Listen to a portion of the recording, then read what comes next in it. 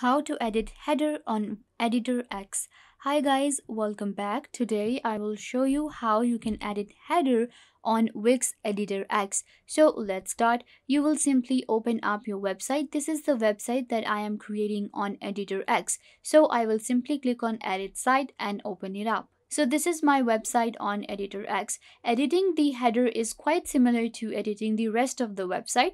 You can see right here, this is the header. I have my socials. I have few of the other things right here. To edit the text, you will simply select the box and you can simply change the text to anything you want to. So I have edited the text right here, digital explain, and then I can simply add few of the other things. Simply click right here. You can add your socials in your header.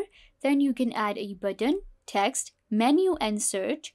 So let's go ahead and add a home and this one. So I'm gonna select this one and place it right here. So we have home and merge. Uh, if you have any merge, you will simply add it right here.